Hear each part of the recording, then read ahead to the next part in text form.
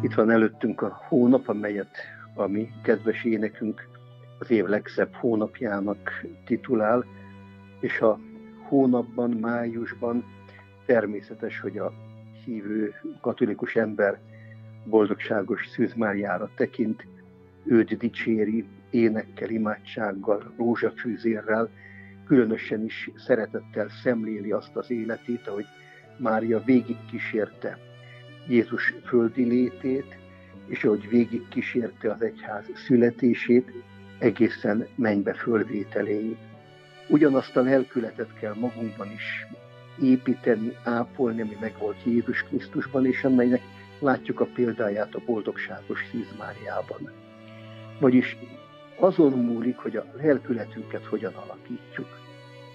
Ha a lelkületünk jó, ha jól formáljuk ezt a lelkületet, ha engedjük, hogy Isten alakítsa mi lelkünket, szívünket, gondolkodásmódunkat, akkor az életünk jól fog haladni, előre fog menni, akkor emelkedünk az Isten felé, akkor elérkezünk a célunkhoz.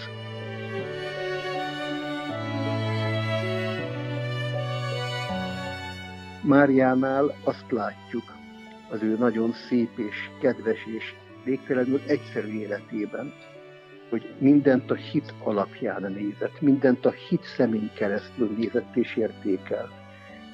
Ezért nem aggodalmaskodott a földi dolgok miatt, nem esett kétségbe saját sorsának alakulása miatt, hanem rábízta magát az Istenre, kész volt elfogadni nem csak áldást, kegyelmet, de keresztet és szenvedést és bizonytalanságot is.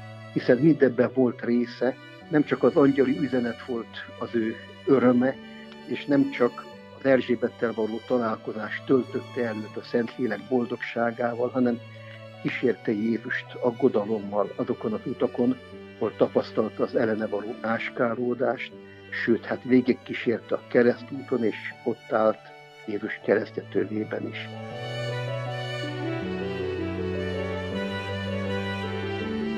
Mária mindig kitartott abban, amit az Isten neki készített.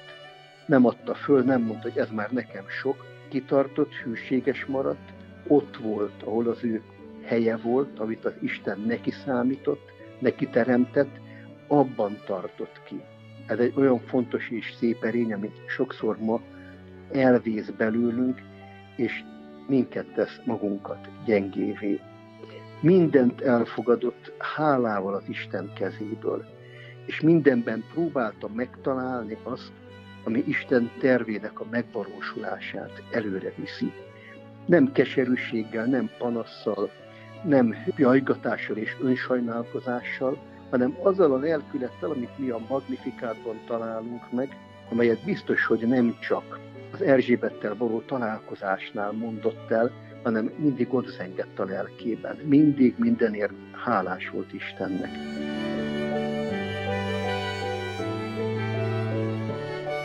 Azt hiszem fontos, hogy legyünk mi is hálásak mindenért. Ugye ez a hálás lelkület legyen bennünk. Ne a keserűségeket, a csalódásokat próbáljuk meg gyűjtögetni magunkba, hanem próbáljunk meg mindenért hálát adni. Ne magunkra figyeljünk és magunkat sajnáljuk, ne azt nézzük, hogy miben nem értenek meg, vagy mi nem sikerült nekünk az életben, ezért vagy azért, hanem inkább vegyük észre, hogy Isten mennyi kegyelmet, mennyi szeretetet ad nekünk, mennyi szépséggel vesz körül bennünket, és értsük meg, hogy aki elveszíti életét, az megtalálja azt. Úgy gondolom, hogy aki ezt megsejti, és ezen az úton elindul, az boldog lesz. Mármilyen hivatásban is van, családi hivatásban, bármilyen embert szolgáló hivatásban, de legfőképpen boldog lesz, hogy ezt a hivatást az egyházban úgy adja Istennek, úgy éli meg Istennek, hogy az emberek felé az ő szeretetét sugározza, és az ő szeretetét ragyogja tovább.